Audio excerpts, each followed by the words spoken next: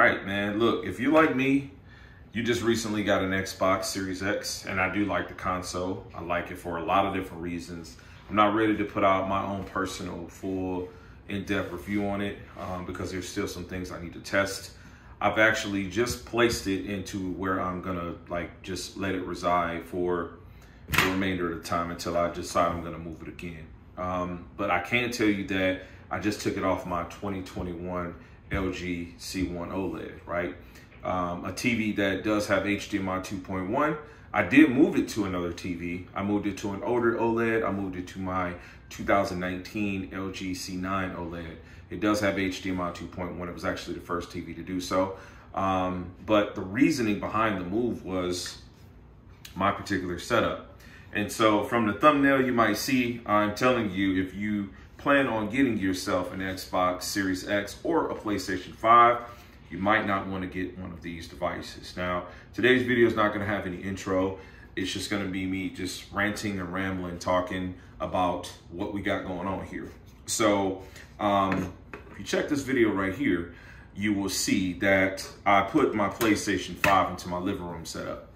Well, in order for me to do that and to enjoy it the way that I enjoy playing on my console, which is recording and streaming fighting games. I like to play Street Fighter. Even when I'm not trying to put on a show for YouTube, I like to play, I like to record my matches, and then I like to be able to go back over the matches. It's just something that I have done historically, like forever. I've done this forever, right? And so the big confusion for console gamers is how can you get the most out of your console? There's a lot of branding on the box of the consoles talking about 4K 120, 8K, all of these different things, Dolby Vision gaming. There's a lot of advertisement going on and it's really confusing. It's more confusing than PC gaming to be perfectly honest with you. So when you get one of these consoles that have HDMI 2.1, you're like, okay, bet. Only to realize that you're only gonna be able to really take advantage of the game running in that resolution if it's developed there. So as I said in my video, right here showing me hooking my new Xbox to my six-year-old Samsung, every game that you play on the console is not going to run at 4K 120.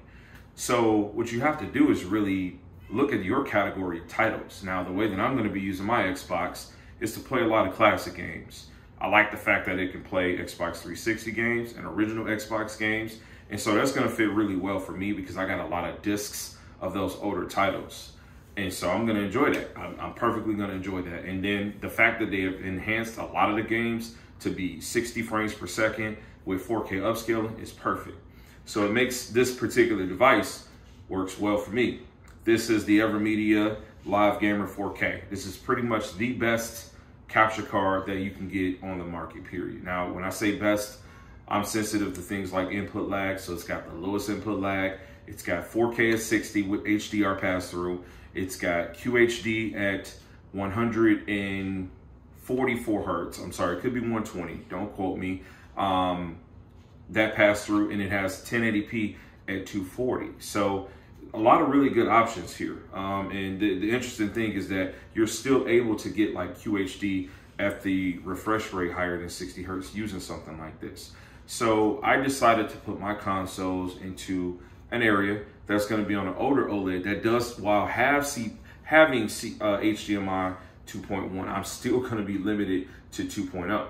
And the reason that I said that you may not want to get one of these is because there are no capture cards on the market that are 2.1 right now. So if you've got caught up in the hype, buying your console and then bought a TV thinking, hey, if I get this console, I got to get this TV, then I'm sorry. If you decide that you want to actually capture your content, make it look really custom, uh, if you don't want to be bogged down with using the standardized interface that the Twitch um, gaming has on the PlayStation or the Xbox, and you want to have like your own custom overlays, like I do, you want to record your content like I do, then you've got to make an executive call. Luckily for me, I don't need those consoles to play games higher than 60 frames per second. In fact, any game that I will play over 60 frames per second, I'm to play on PC, which is exactly why I have an RTX 3080 build on my 77 inch C1 OLED. That's why I put the consoles where my computer desk is, where I edit my videos, render my videos, manage my content, because I'm okay with it being dumbed down to an HDMI 2.1 because it does 4K 60 with HDR. So uh, just really today's video is just some talking points, some things for you to consider. I'm probably gonna have my um, full review of my Xbox Series X up within a week. Um, I'm enjoying the console so far. I'm not really looking to compare to the PS5 because they really sit in different spaces, in my opinion. But if you guys got any questions, leave them in the comment section. Hit like, subscribe, all of that jazz, and I'll catch you next time. Max Love.